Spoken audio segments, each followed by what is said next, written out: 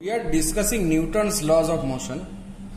There, the first law says that a body continues to be in state of rest or uniform motion in a straight line until acted upon by an external agent that is known as a force.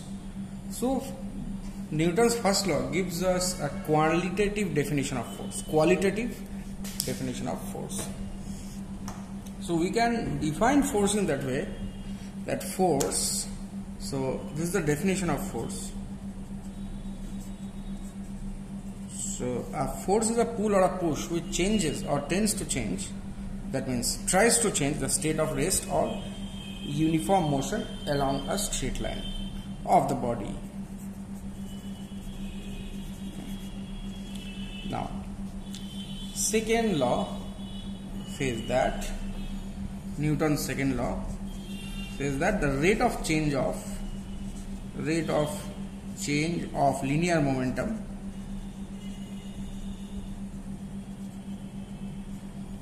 Of a body is directly proportional is directly proportional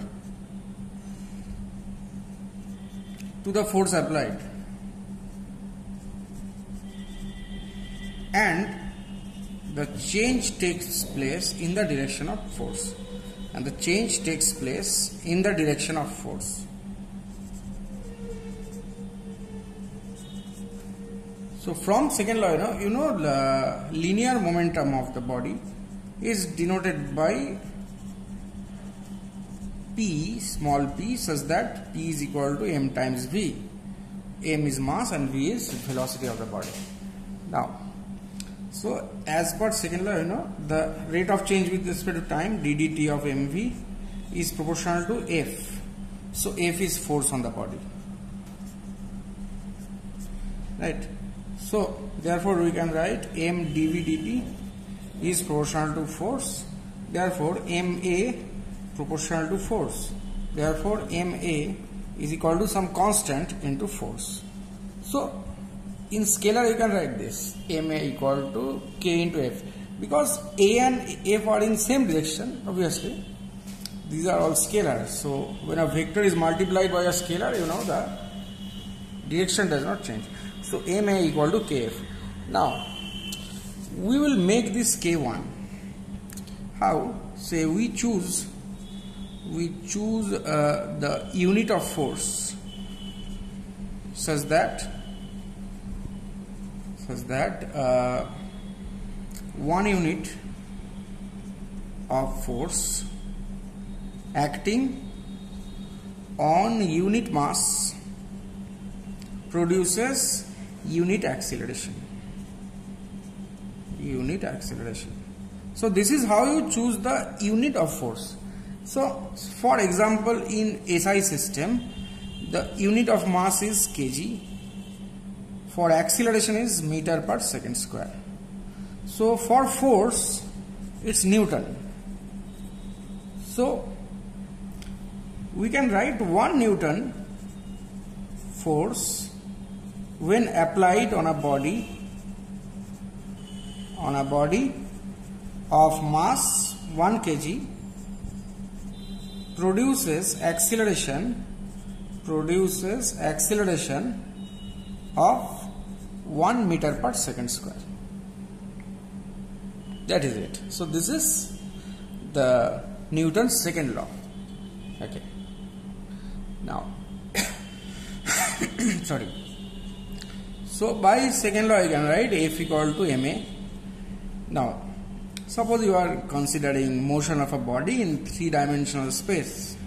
So the acceleration may have components like this. ax times i cap plus ay times j cap plus az times k cap. So the force also may have components fx times i cap plus fy times j cap plus fz times k cap.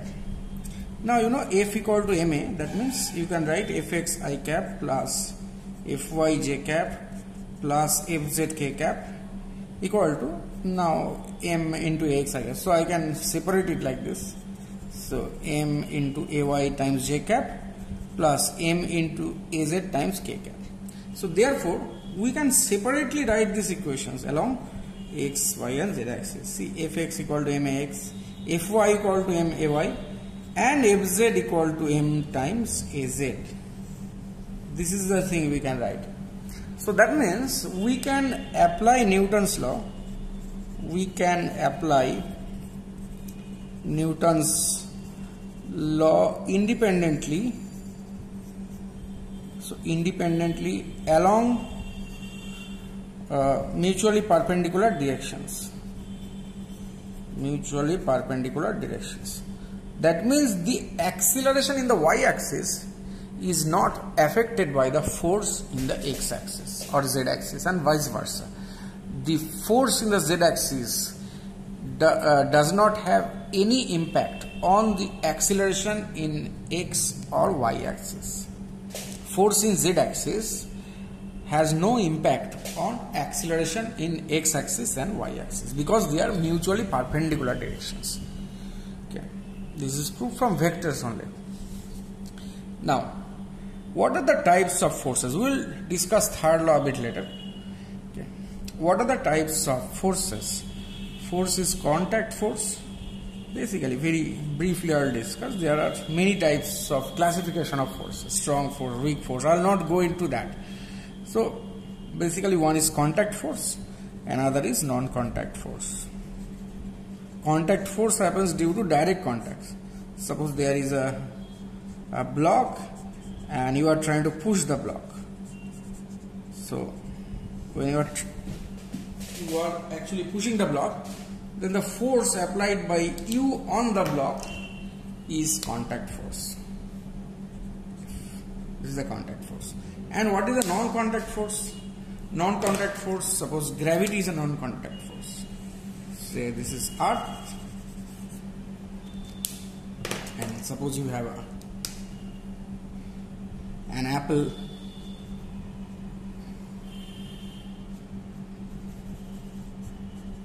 this is what helped Newton frame his laws the falling apple so an apple on a tree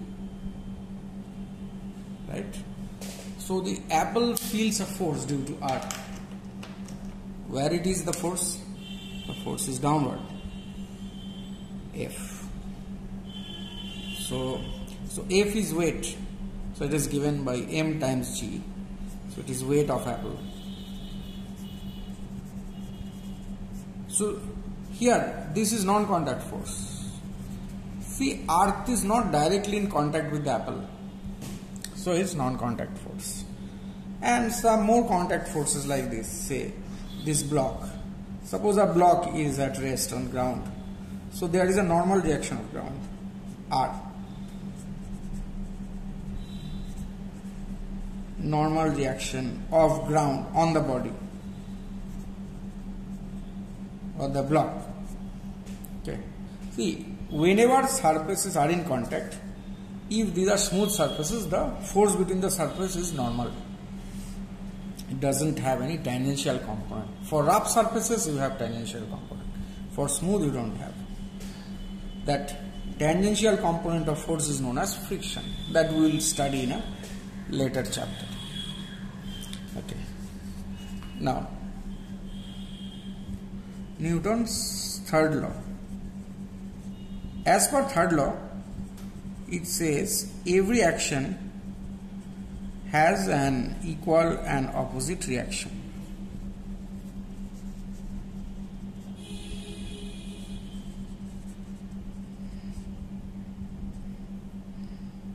okay so what does it mean that? That means that say, let's try out this diagram.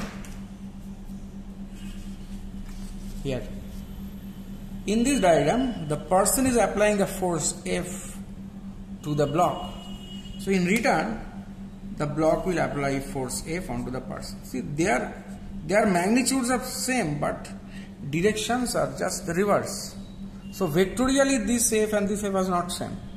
Rather, their vector sum is 0, right? But magnitude wise they are same, but direction is just reverse, Uh, uh, or, or, opposite of the other.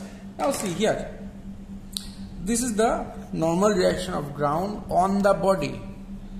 so the body the block will also apply this force on ground this is force on ground by the block okay suppose this force is force on the person by the block. And this is force on block by the person. Okay. So every action has an equal and opposite reaction. So can you say here what is the equal and opposite reaction to this? See earth attracts the apple with the force F is equal to mg. So the apple will also attract the earth this is a force on earth. On earth. By apple?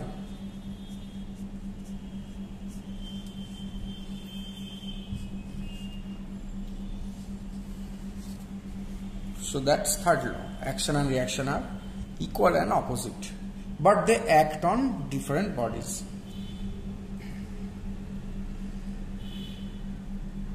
Suppose there are two blocks two blocks suppose they are moving we will solve a problem based on this. Suppose two blocks some of they are moving there is another force which makes it move both the blocks move. So a and b. So there is a surface of contact between the blocks. This is the contact. Contact between the blocks. So here block a will apply force on b in which direction? See there is there is no tangential force. There is no sliding tendency here. So there is no friction. So a will apply force on block.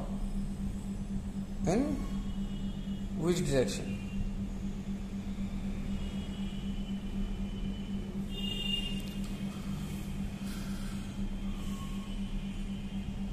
So a applies force on b in this direction and B apply force on A in this direction. These two have equal magnitudes but direction is opposite. So that is why their vector sum is 0. Vector sum of this force and this force is equal to 0. So let us solve some problems on Newton's laws of motion.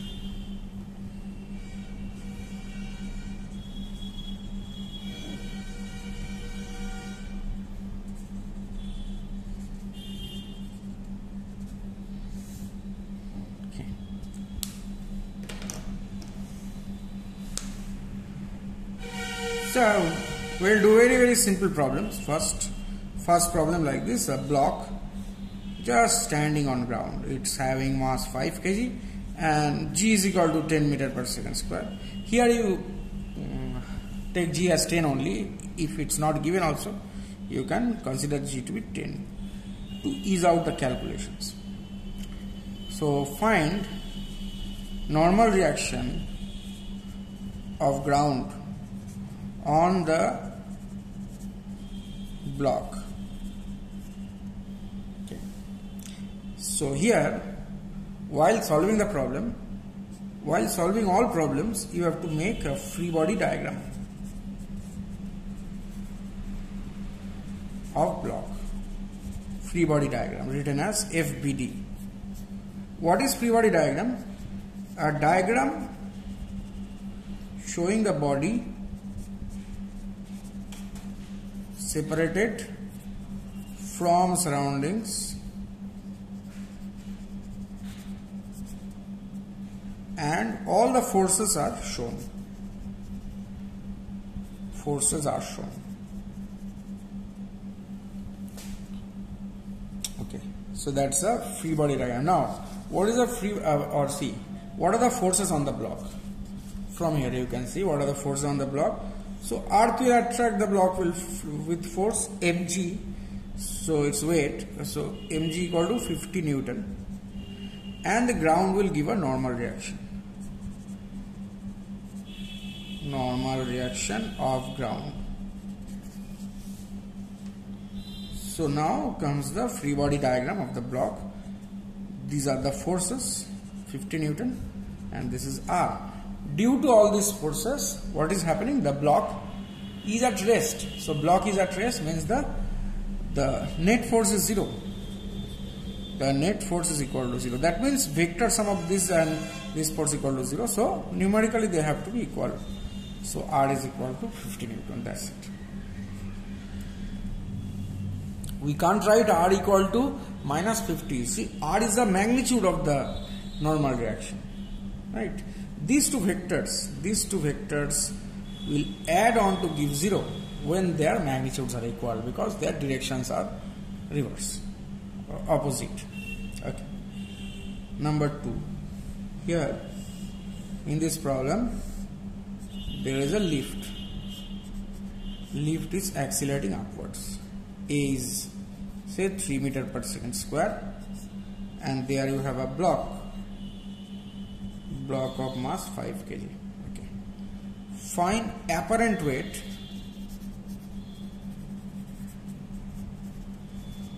of block inside lift. What is apparent weight? It is the normal reaction of flow. Normal reaction of lift floor on the block. See, actually the weighing machine doesn't know that uh, whether the lift moves or not. Weighing machine reads the normal reaction on it. Right? So in place of ground if you place a little weighing machine here so that the block will press the machine with a certain force machine will apply a force upward same as the force applied by ground okay so suppose so these are the forces. So forces weight is 50 newton and ground reaction or apparent weight of block is r. Suppose apparent weight happens to be r. So here you can draw the free body diagram. It is a small problem so I am not going to next page for this. Okay. So that's r see the body is separated from the surroundings. Only the forces are drawn and the acceleration is drawn. See acceleration is 3 meter per second square. Okay. So the acceleration is in upward direction right? So acceleration is in upward direction. So this direction is positive. So what is the net force on the body? So you know F equal to ma what is F as this upward direction has to be positive because you have to consider the forces in uh, so F equal to ma right so all the forces in the direction of A are positive. Opposite to the direction of A has to be negative. So the net forces are minus 50 equal to 5 into A. So R equal to 65 Newton. So inside a lift, if your weight is taken, you will weigh more inside a lift. If the lift, if the lift accelerates upwards, then if it accelerates downwards, then you will weigh less inside the lift than normal. I mean, than standing on ground.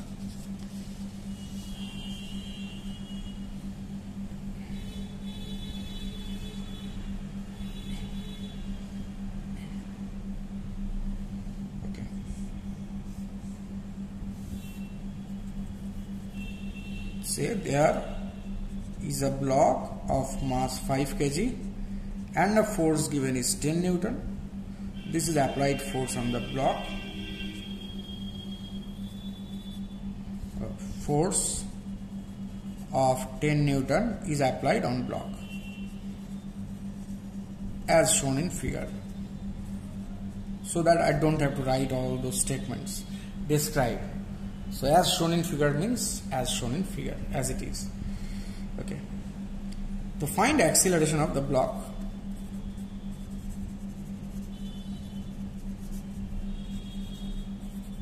okay.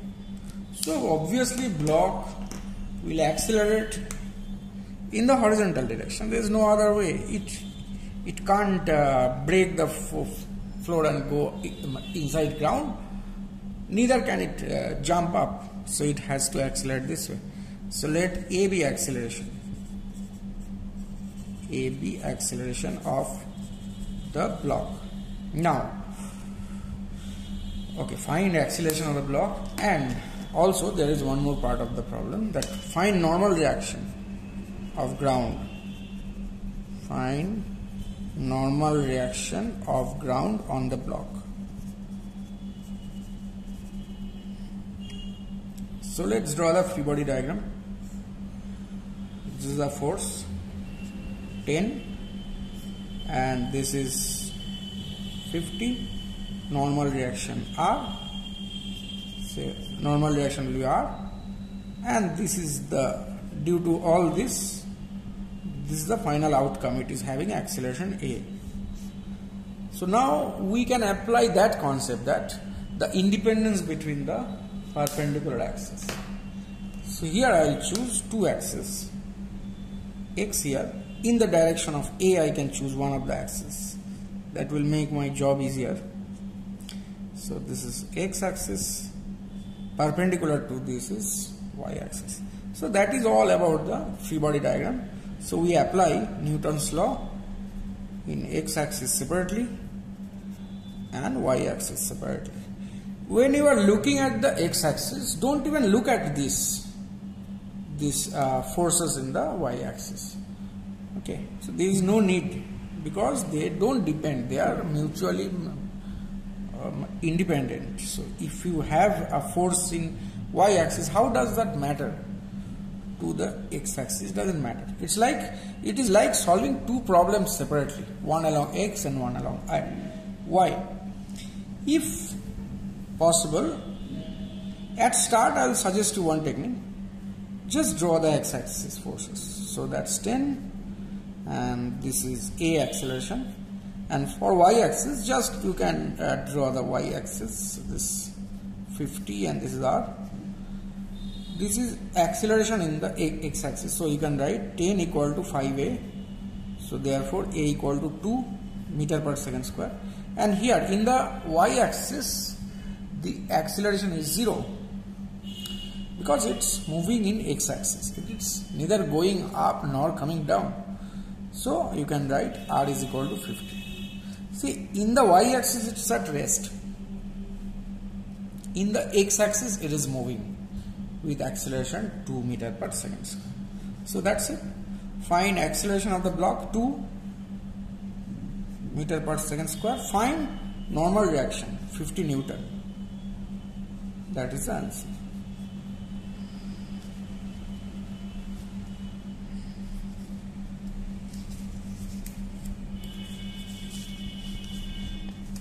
Okay. Now suppose you have a block, similar questions. You have a block. Get used to this concept. So I am giving similar question one after the other.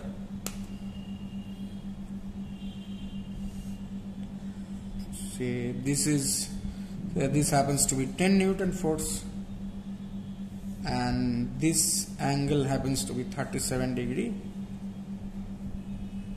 And the G is 10 obviously it's not given. So if it is not given you can consider G as 10 so here same thing is asked find acceleration of the block. And and the normal reaction of ground.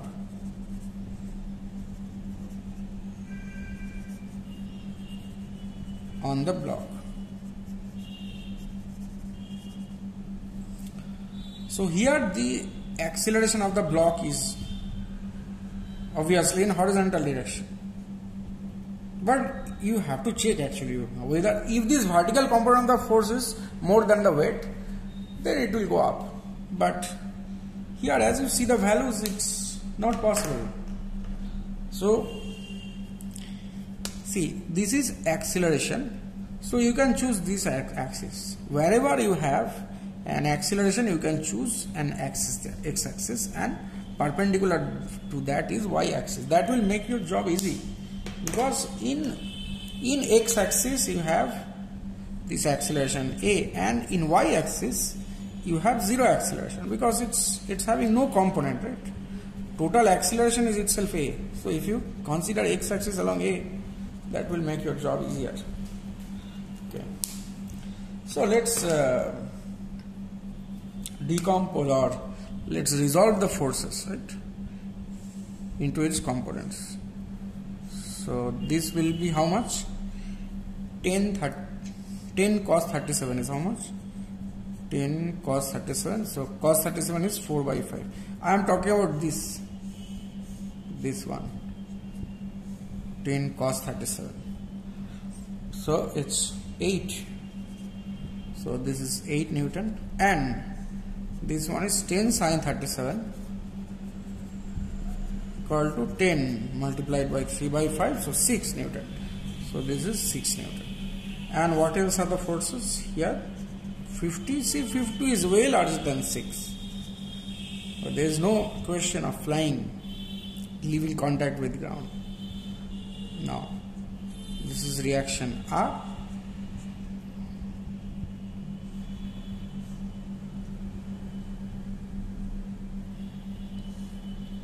okay. So consider it if you want see I will suggest you to draw free body diagram always just you remove this ground. Or uh, for the time being from your mind you can remove this ground. But during exam it is suggested to draw free body diagram. Now that will do. Achha. so Newton's law in x-axis and Newton's law along y-axis. So in x-axis I'll follow that technique x-axis just forget about y I forget I try to forget it so much that I'm not drawing even the forces. So that's acceleration A. So simple as that. 8 equal to 5a so therefore a equal to 8 by 5 meter per second square. While this is the acceleration of the block. Dealing with the x-axis Newton's law is sufficient to find acceleration of the block. That's it. Now for the y-axis what are the forces? This r this 6 and that's 50 so in the y-axis the block is at rest. In y-axis the block is at rest. So it is having zero acceleration. So the vector sum of force has to be zero. So the net force up equal to net force down. So R plus 6 is the force up and 50 is the force down. So reaction equal to this is how much? 44 right? 44 Newton. So that's normal reaction of ground.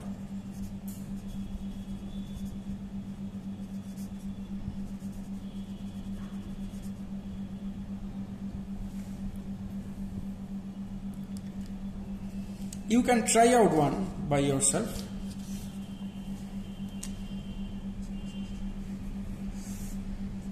simple only just changing the direction suppose this is 20 newton at our favorite angle 37 degree because you get rational values and that's 5 kg find acceleration of the block of the block and the ground reaction and normal reaction of ground.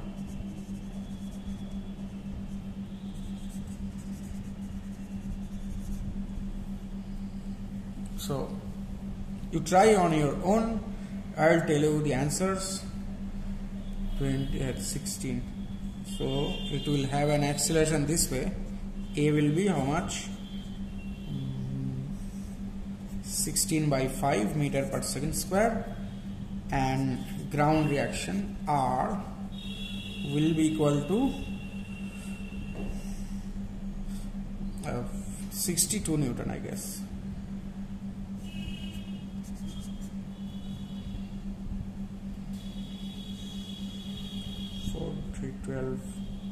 Yeah.